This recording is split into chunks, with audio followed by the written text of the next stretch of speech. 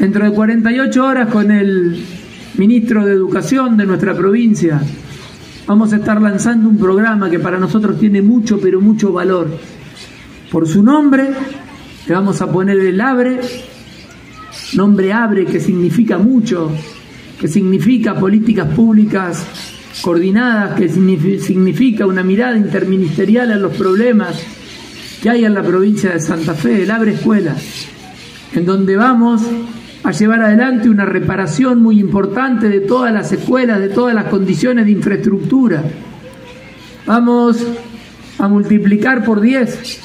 los fondos que teníamos para el arreglo de los establecimientos escolares y ya comenzó nuestro ministro y su equipo de educación a llevarlo adelante en este pequeño tiempo que estamos gestionando la provincia de Santa Fe. Ejecutaron más de 800 millones de pesos, pero en el año tenemos que lograr reparar las condiciones edilicias de todas las escuelas para que los jóvenes y para que la comunidad educativa, para que los directivos, para que los asistentes, para que los docentes, para que los maestros tengan buenas condiciones escolares. Vamos a lanzar un programa de construcción de mil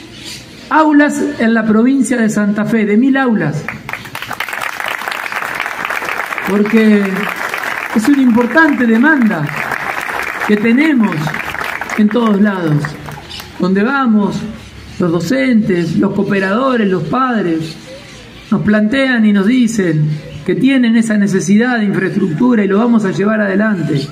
con los recursos que tiene la provincia de Santa Fe. Y vamos a construir en muchas escuelas, más de mil, gabinetes tecnológicos, aulas informáticas, para que con nuestro programa de desarrollo de conectividad que estamos llevando adelante en toda la provincia de Santa Fe, que está avanzando, que comenzamos con un 20% de ejecución y ya hemos avanzado muchísimo y esperamos tenerlo terminado para el mes de septiembre en toda nuestra provincia, podamos conectarnos y de esa manera también ser mucho, pero mucho más iguales.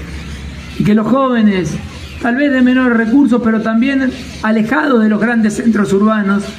tengan acceso a la tecnología, a la información y al conocimiento, al igual que un joven en una gran ciudad. Creo que eso también tiene que ser distintivo de nuestro gobierno. Y la formación y el modelo que tenemos que empezar a pensar también como provincia de Santa Fe.